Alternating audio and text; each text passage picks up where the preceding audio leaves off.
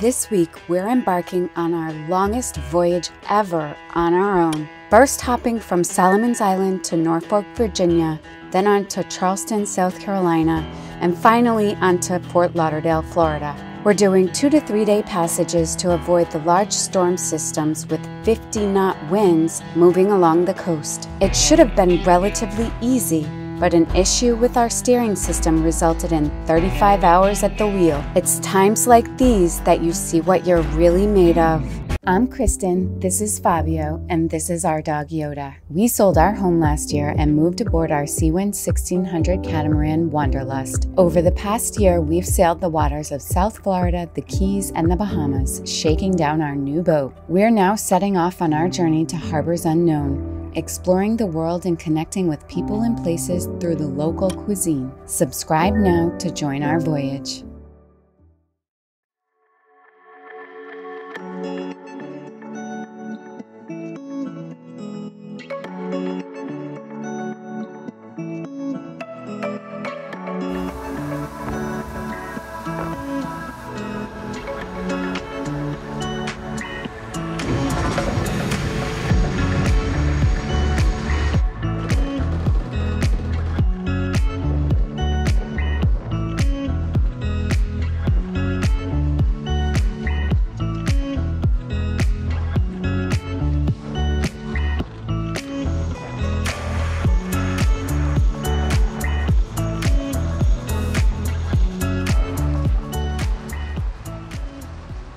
November 1st, the date when our insurance allows us to move south of the Florida Georgia line, is just a few days away. We left Solomons Island this morning and are making our way south through the Chesapeake to Norfolk, Virginia, where we'll wait for a weather window to sail down to Charleston, South Carolina. Norfolk is home to the largest naval base in the world, along with NATO's Strategic Command Headquarters and Maersk Line, which manages the world's largest fleet of U.S. flag vessels. We knew there would be many large vessels to contend with, so we paid close attention as we turned up the Elizabeth River headed for the Norfolk Yacht Club on the Lafayette River where we'd wait for our weather window. We're in Norfolk, Virginia, and we've been here for about three days waiting for our weather window to head down to Charleston, South Carolina. And looks like tomorrow, Monday, November 1st, is the day that we're going to be heading down. Um, we so we figured right now would be a good time to share with you guys how we do our weather routing and make our decision for when is the best time to leave for us. We use PredictWind to do the weather routing and then we're able to import that into our B&G. Charleston is right about here. So we put the cursor there, then PredictWind and route to cursor. We've Got our start time Monday, November 1st, 7 a.m. Light wind motoring is on. Polar speed adjustment we have set to 88% because we know it won't be 100% of our polars. And then we say download. So now we find our route. This is our route here. Show the route. We use the PredictWind routes as kind of a guide and if we look and we see that anything is kind of too close to shore we need to alter it a bit we do that. And so right here the route is a bit too close to shore for our taste. So I'm just going to edit the route. So here I go to the route edit move and I'm going to move this waypoint and finish moving. And now, of course, I have to move this one as well. That looks better. And then we can come closer to land or stay out, actually, probably would be better because here we have to shoot kind of neck for this next little lighthouse here. So we won't move them all now, but we will be doing it for our passage. And again, this is a guide.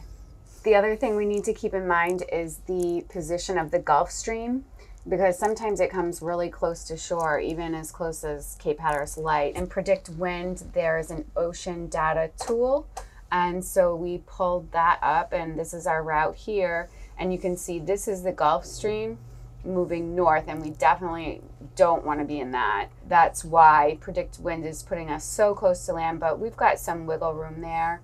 So we're good to go in terms of where the Gulf Stream is flowing. Then we go to the weather routing tool. We can actually see how long it's going to take us to get there. It's uh, a 396 nautical miles, leaving Monday at 7. Press play, and you can see the little boat. Kind of, you can see your route and what the wind will be. Looks like we're going to have a beautiful downwind sail and we wanted to have light wind going around Hatteras. We don't mind motoring if we have to, but it looks like we're still going to have enough wind to sail with the spinnaker. It looks like we'll arrive in Charleston Wednesday around 12:30. Wind is pushing us forward. If you're enjoying this video, give it a thumbs up and leave us a comment down below. We love to hear from you guys. If you really want to help us out, be sure to subscribe to our channel.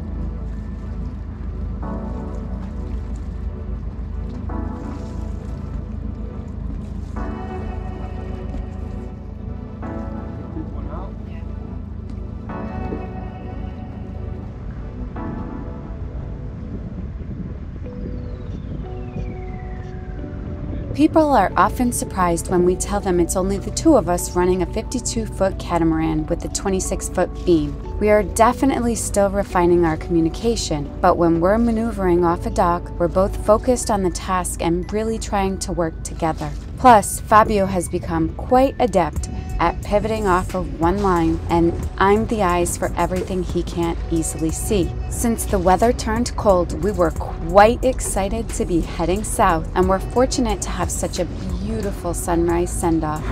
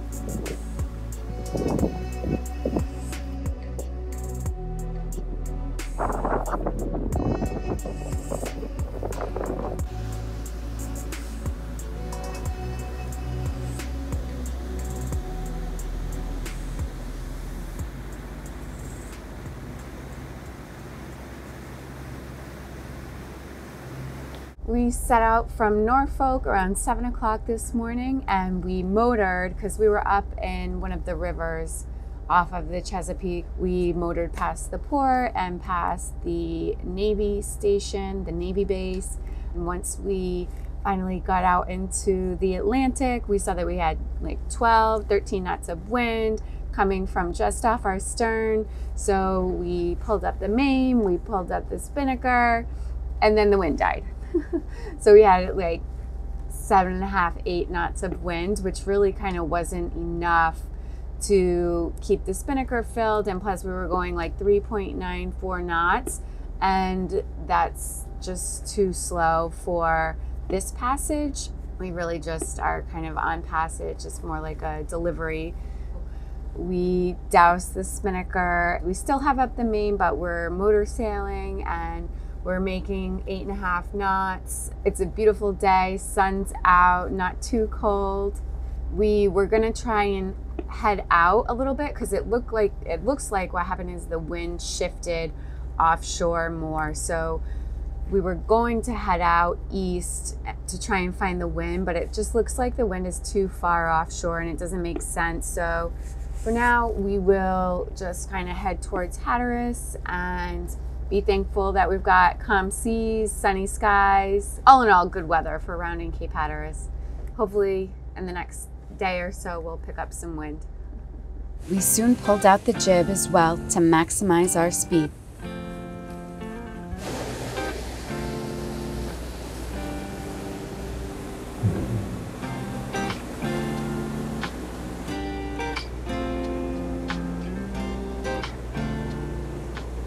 It is now five o'clock on day one, and the trip has been great so far, really easy. Uh, the wind changed at around, I guess, one o'clock and swung around and started coming out of north northeast at anywhere really from 8 to 12 knots. Um, so Fabio pulled out the screecher. We still have on the engine because we just want to get around Cape Hatteras as quickly as possible. Looks like we're about five or six hours away from Hatteras, so we'll round that tonight around midnight, but it should be totally fine because the seas are still pretty flat and we're making great time. With sunset approaching, Fabio laid out the jacklines so we could tether ourselves if we needed to go up on deck during the night.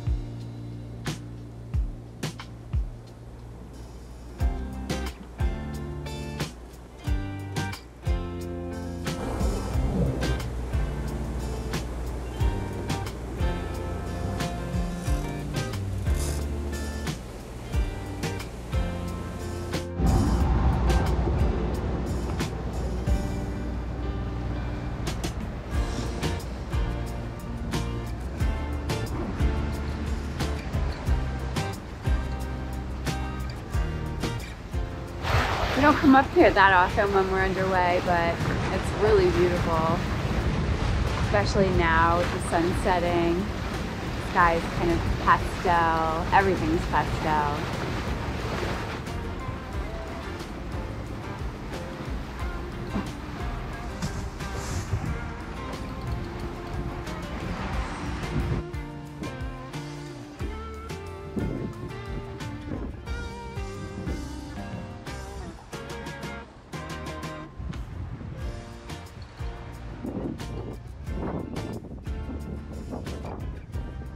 Moments like these are really quite special, and we love to share them with you guys in hopes that you can get a little bit of an idea of what it's like out here, away from the constant notifications and obligations of everyday life.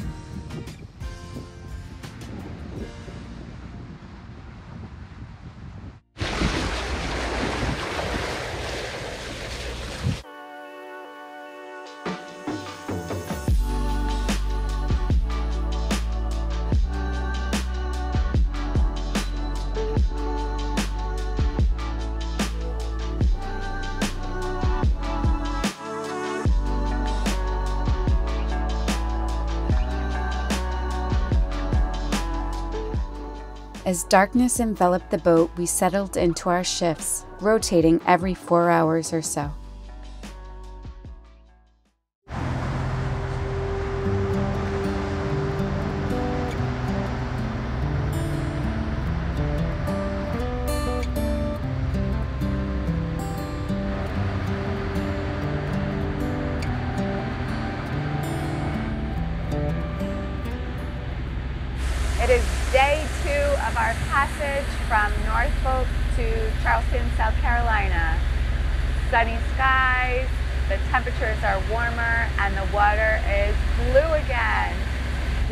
28 hours into our trip and we've gone 227 miles. We've averaged eight knots and the highest speed was 12.9 knots. Right now, we only have about six knots of wind, so we're motoring. We don't have any sails up. Fabio had the screecher up a little bit earlier, but it was just flogging, so he took it down.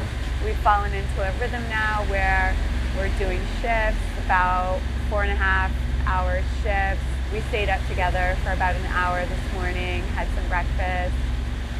But other than that, just kind of trying to get as much rest as we can. It's so awesome that the temperatures have gotten warmer. The effects of the Gulf Stream are just incredible. That warm body of water just really raises the, the air temperature. And it just makes for a much more enjoyable trip, obviously. Yoda is here with me. Say hi, Beanie.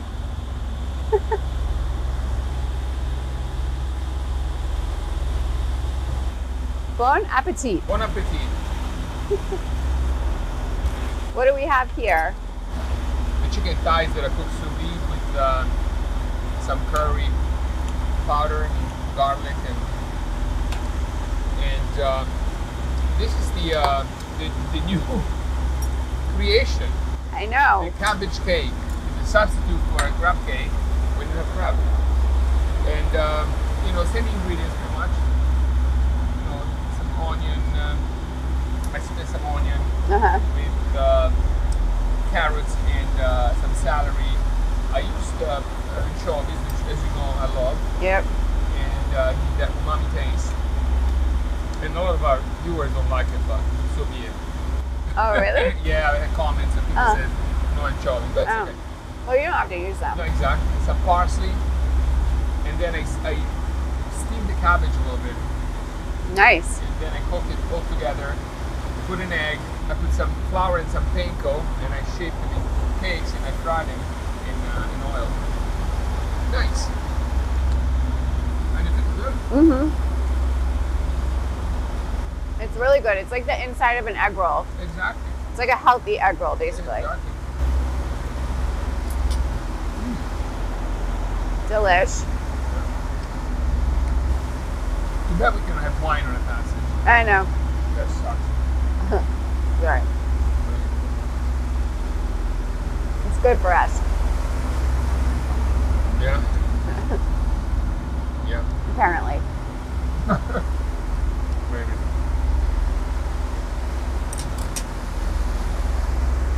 So, you were listening to a podcast. Yeah, I was listening to the Freakonomics podcast with Stephen Dubner. It's actually really interesting because he was, during the pandemic, um, there was this economist, I forget his name right now, but he was sitting at home and he was watching CNN, you know, trying to be informed about the latest news of COVID and what was being done on the vaccines. And all he heard was negative news. And he was like, Am I going crazy?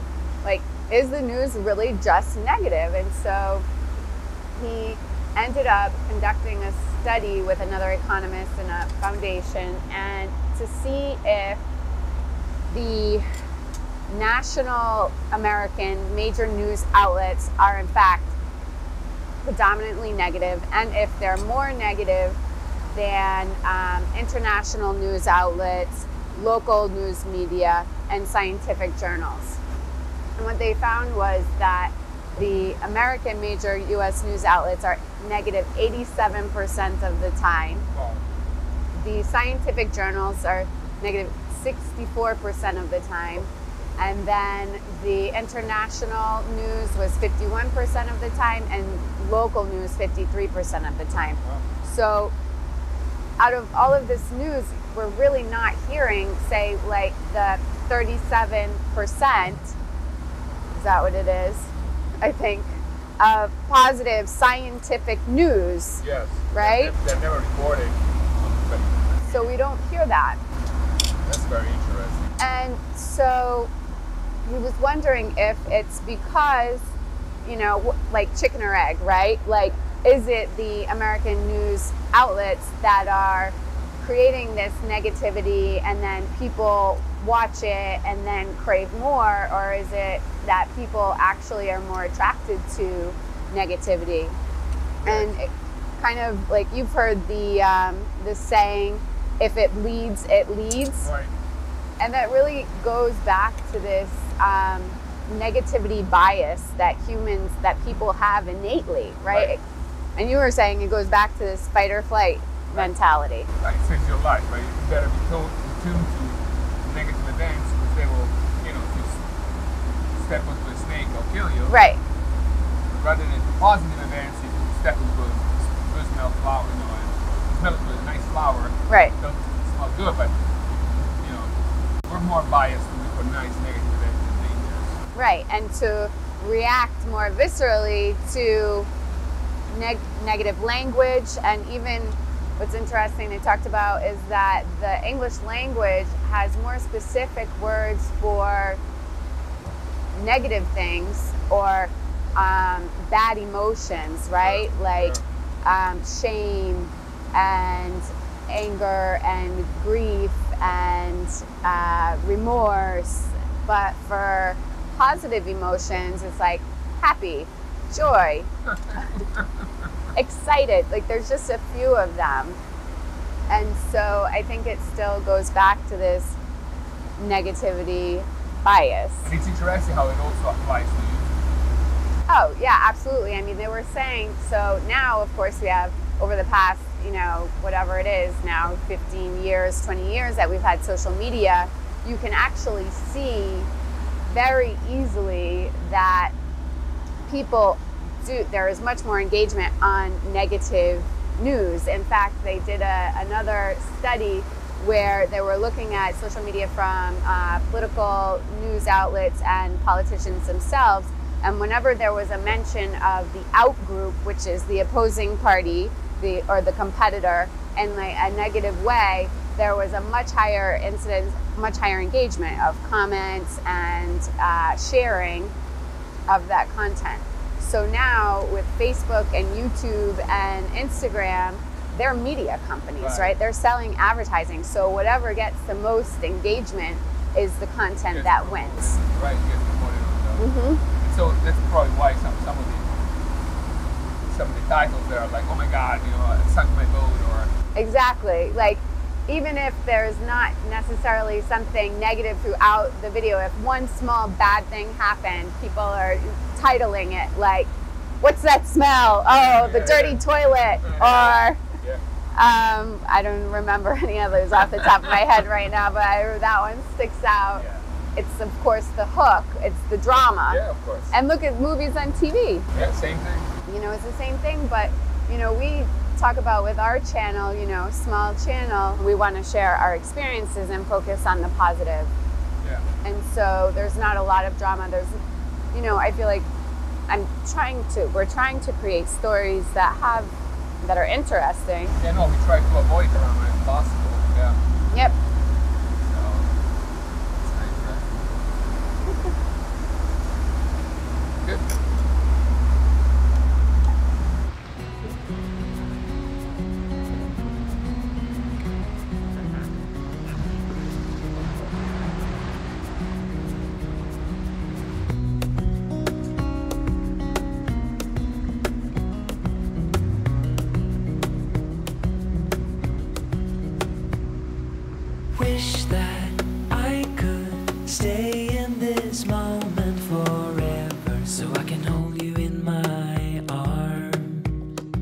I will carry you on my shoulders as long as I'm able. The monsters under your bed. Deep and abiding, liking for you is all I need. Until my heart gives in, I will do it.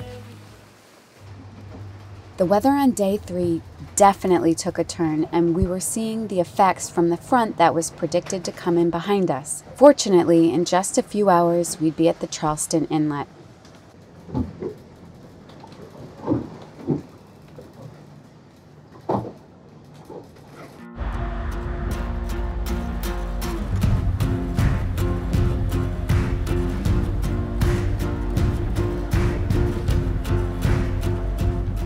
There were a number of large vessels and tugboats entering the channel with us, so we monitored the radio closely and paid close attention to the movements of the traffic around us.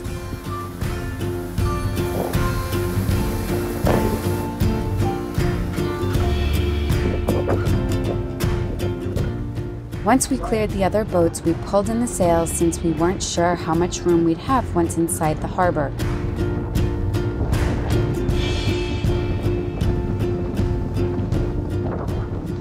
Finally realized there is a huge dredging project in the Charleston Harbor. The harbor is being deepened from 47 feet to 52 feet, enabling post Panamax vessels to enter the port of Charleston at any time. This will make it the deepest harbor on the East Coast and further connect South Carolina to global markets.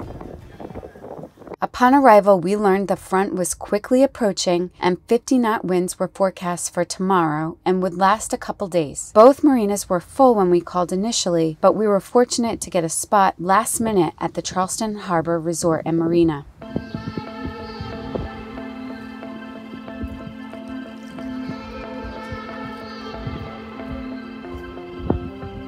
Each morning, the birds outside our window performed a beautiful dance, which I learned is a murmuration. Hundreds, even thousands of starlings fly together in a whirling, intricately coordinated, yet ever changing pattern. It's not known why or even how they do this, but it is absolutely mesmerizing.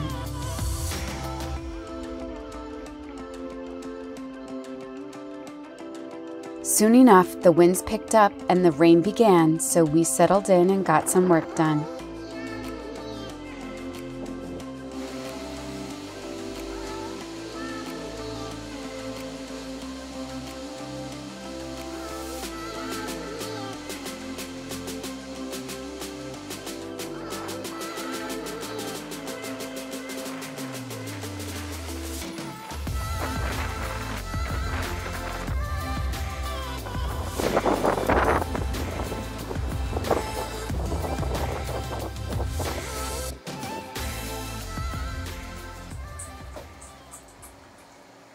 Fabio checked the weather regularly to see when we could leave for Fort Lauderdale. It looked like on Monday, November 8th, the weather would be favorable for our 419 nautical mile journey south, and we were certainly ready for some warmth and sunshine. There are a few different weather models, so we compared them all, checking the wind speed, direction, angle, wave height, and direction, along with the proximity of the Gulf Stream to the coast and our planned course. The storm has passed. We're gonna go tomorrow. Are you free? I'm free.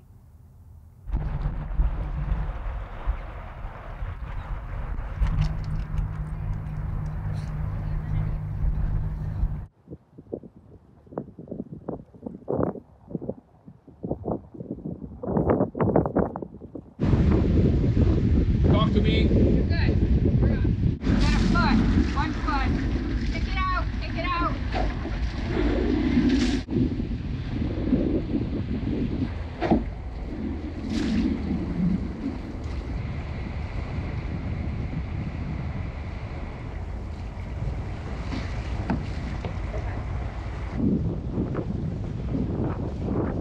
Good.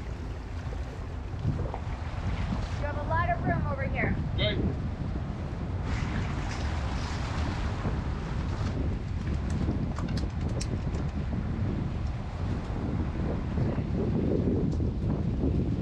Though we were disappointed we didn't get to explore Charleston, we were so ready to be in a warmer climate.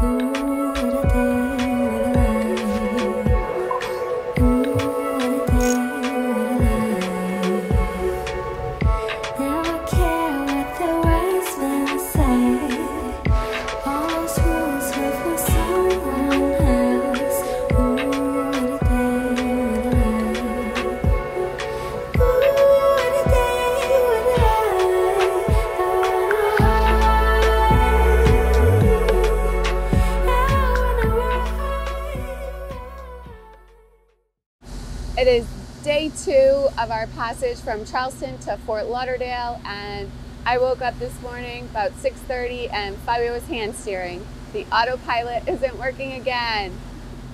The saga with the autopilot continues. So we are just south of Jacksonville, Florida on the Palm Coast. So we have about 25 hours left to get to Fort Lauderdale. We have the screecher out and the engine's on just because we want to get there as quickly as possible. It's forecast to rain today and looks like rain in the distance. so we've got our day cut out for us. But that's boat life. Out here, we're challenged in different ways. And before this passage, I always struggled with night watch. But with no autopilot, we had decided to do two hour shifts. Understanding the pressure Fabio felt, it was no problem at all to pull my weight and help shoulder the responsibility of arriving at our destination safely. And the universe rewarded me with spectacular shooting stars, like flares streaking across the sky, and dolphins leaping out of the water playing at our bow. Being on passage in the open ocean without the distractions of modern day life, no internet, no cell service, gives you the space and time to just be. To be in the present moment, watching the wind in the sails, the cargo ships pass by in the distance, observing changes in the water as it turns different shades of blue, sunlight glinting on its crests, delighting in the different creatures found on board, watching the sun set and offering gratitude for another magical day spent on the ocean as the hues transition from from golden to pastel. Soon enough, we recognized the Fort Lauderdale coastline and knew we had made it. I was so proud of us for working together and taking care of each other and knew we were truly ready for the full adventure ahead. Thanks for watching, and we'll see you next time.